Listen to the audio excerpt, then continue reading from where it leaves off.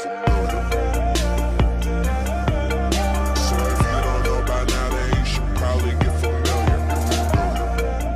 I have a very, very special guest. I have KL1993. This man, if you don't know who he is, he is just placed within the top 8 um, of Worlds 2021. He's going to be telling you a lot more um, about what he's done. But um, to first off, uh, please introduce yourself. Welcome. Uh, hi everyone, so I'm KL1993. Uh, I'm French. I'm from uh, France. The like Jinzo and Tonic says, uh, I place in uh, top 8 on the World Championship.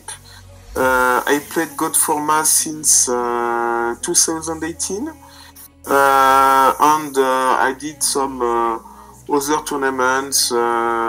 I was uh, second in the FLC 5, uh, in top 4 in uh, FLC 9, and uh, first on uh, Obelisk 2, uh, which uh, was the tournament uh, uh, which allowed me to uh, make my way into the world. Amazing, amazing. So, guys, as you've heard, KL is fairly new to the game, only playing Goat format since um, 2018, and he's already topped major, major tournaments. The man does not mess around.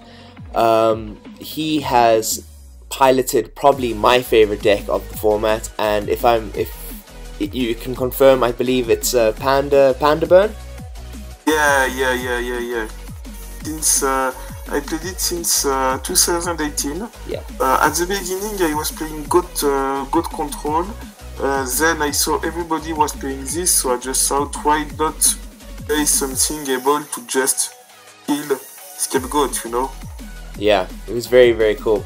So I don't know if a lot of you might know this, but actually the top eight, I uh, was just speaking to, KL before this, and he was telling me the top eight of the tournament, which was quite exciting, was um four of them were Americans and four of them were from Europe, and it was quite it was quite a nice little battle of the Americas and the Europe, and um, I believe that Europe came on top again this year, which is very exciting for us, especially for me. But very well played to everyone in the tournament. Um, it was a very great turnout. But back to the question, I wanted to find out why did you choose this deck for the tournament, this Panda Burn deck?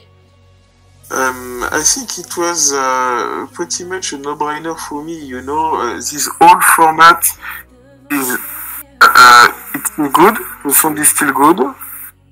I countered. Uh, I countered you. I don't know if it's still good. Um, like I said, yeah, I think it was uh, pretty much a no-brainer for me because, um, you know, I think this whole format is about uh, being able to beat Trinity, out of great, Graceful Charity, De- Delinquent Duo, and uh, you know, when you took uh, this Trinity on turn zero zero, like you lose uh, rock paper scissors, and uh, and uh, you lose rock paper scissors, and you you, you are in three versus six cards because of Open Trinity.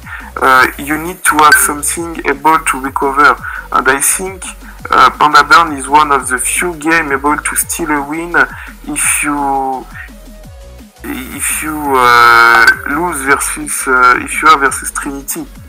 I don't Okay. know if you heard me. I can't heard, heard you. I, I'm not able to hear you. I don't know if you can hear me. I can I can perfect we can we can perfectly hear you. Um, Okay. Yeah, yeah. So I now just looking at your just looking at your deck here. I want I would like you to just um talk about some choices. So for everyone that's new um coming to Goat format and seeing this deck, um the main cards that would be seen obviously would be the giant rats, the pandas, uh, the Des Koalas, but an interesting one that maybe a lot of people that are just joining the game might not understand why you've put in a Cipher Soldier. Can you just explain that? Yeah, uh, the Cipher Soldier is one. It was uh, a bit of a meta call, you know. Mm. Uh, I, I just thought, uh, what would be the most played deck uh, in the tournament, and uh, I just thought people would play a lot of uh, of deck which uh, won uh, which won uh, the the other tournament, the qualification tournament, and I think the top two deck played, and that was the case. I thought it would be either Chaos Turbo and Warrior because Warrior took a lot of first place, a lot of top eight in uh, several tournaments, and uh, since I expect Warrior to be a lot played, uh, I thought it would be a good idea to main one Cipher Soldier in main, uh, knowing it's uh, an Earth monster, so it can be summoned by Giant Rat. Uh, so it's, it was a good synergic, and I think it was a good meta call uh, in this tournament. Yeah, I agree. I agree. So yeah, Cipher Soldier, guys, as as explained, is is a very good meta call against Chaos Warrior decks. For the new players that uh, might not know, this is why this card's being played. Um, everything else I see in your deck seems to be very standard. Um, Yeah, it's yeah the the two level limits very standard i see the ring of destruction the magic cylinder very very good so i don't want to go too much about um, this deck profile as guys there are many deck profiles like this online um, kl went for a very solid strong strategy uh, didn't have to change much in the build except for the one spicy cipher soldier so that's why I want to jump straight into the side deck. I see that you didn't main Delinquent Duo. Can you explain that? Yeah, I I didn't main Delinquent Duo because um, it's uh, not really synergetic with uh, with the main deck. You know, you lose LP, you the opponent lose two cards, which made the secret barrel uh, less uh, strong, the death less uh, less strong. Uh, the reason of why I uh, I side Delinquent Duo is because on game two, on game three versus Chaos Turbo on some other deck, I was used to smoke screen.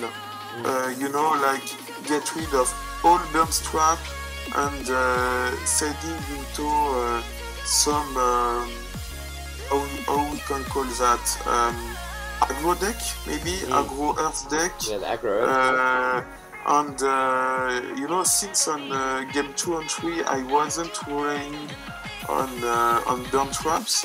Uh, it was uh, normal to side uh, delinquent duo because I wasn't playing. Uh, I mean, on game two and three, I can still burn the opponent, you know, because I still I ring of destruction, magic cylinder, ceasefire. Uh, sometimes I keep uh, the koala, but uh, since burn is not uh, plan A like uh, like in game one, uh, delinquent duo can find this place um, front side uh, to main deck in uh, game two and game three. So that's why I kept delinquent duo inside.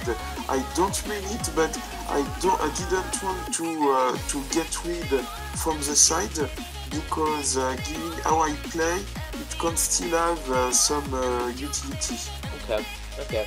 And I just wanted to find out. I I wanted to just confirm. I see that you have two Mobius the Frost Monarchs. Would that have Yeah. been Would that have been put in against um, Chaos Warriors mainly? Um, usually Mobius, uh, I said it uh, uh, because uh, of my uh, smokescreen strategy Yeah. uh, versus uh, opposite decree. Uh, I can't side one versus Chaos Warrior. I can't side one. I'm not the biggest fan of siding them because usually versus Chaos Warrior I'm staying into um, burn mode. Yes. Okay. No versus Chaos Warrior. So, um, uh, tributing, you know, uh, a monster, uh, tributing something like a, a Giant Rat, Panda, is not uh, not so good. Okay. I can't trade one sometimes, but um, I'm not the biggest fan. So just going into your smokescreen strategy. So for Yeah. new for new players, uh, smokescreen uh, strategy is where you side out a lot of cards in your main deck um, Yeah. with your side deck, and then you almost create a new deck. So you're playing with two decks Yeah. in one. It is a very very Yeah. cool, amazing strategy. can you just explain to us in a little bit more detail um, what cards you would take out of your main deck um, for your side deck to complete the smoke screen? Um, usually I side out uh, 12 cards. Uh, yeah, 12 cards. That's, that's why, that's even why I put the the three last the, the three last cards, the three barrier on the you know right on the side deck. Yeah, the Hallowed Life Barrier. The, yeah. The, the, the, I, I side in the the first uh, twelve, so uh, I put uh, in. Uh, the Delinquent Duo, the yeah. two Mobius, the three Kycoo, three Mind Control, one MST, uh, two Swap. Yeah. Uh, I side out usually uh, three Ojama Trio, three Just Dessert, three Secret Barrel. Uh, the last three uh, depends of uh, against who I am, you know. Yeah. Uh, really, um, the, the 16, 16, 21. Uh, I end up with uh, 20 monsters usually in the main, so usually I side out one Cipher Soldier yeah. usually as a 10th card and uh, sometimes I, I'm siding out the 2 level limit too sometimes. So I end up with uh, 20 monsters uh, 5 traps 15 spells that's usually how I sided into the, the tournament but uh, it's still possible to side in uh, different ways but the biggest thing is when I side uh, I smoke screen the three Ojamas, the three desserts, the three barrels are uh, pretty often out. Okay, okay. That's very, very clever. Very, very cool strategy.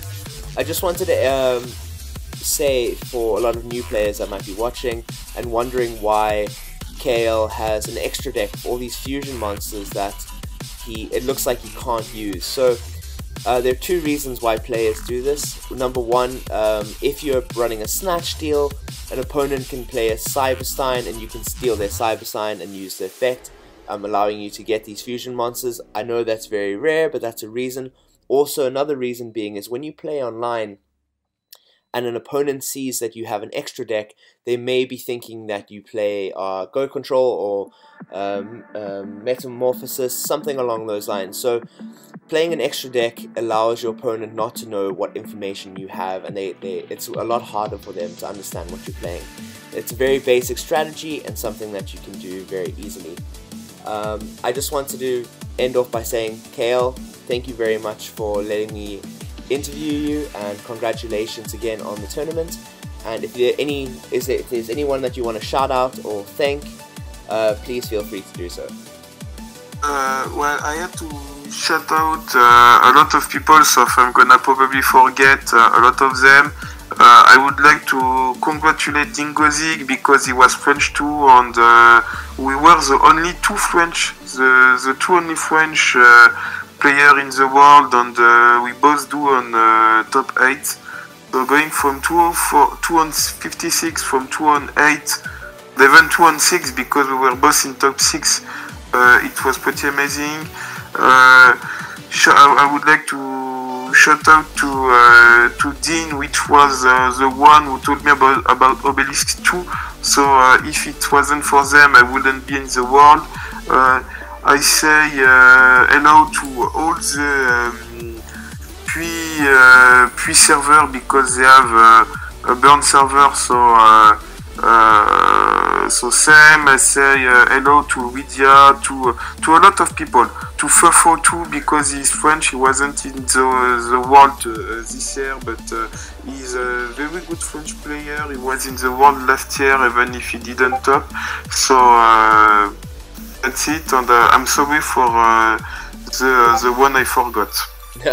for all the people he forgot, I promise you, he still loves you, and he's sending his love. KL, thank you so much for joining us today. Um, hope to play you in the future, and best of luck on all future tournaments. Thank you. It uh, it was a pleasure to a pleasure to be uh, with you uh, too, and I wish to everybody to have a great day. Perfect.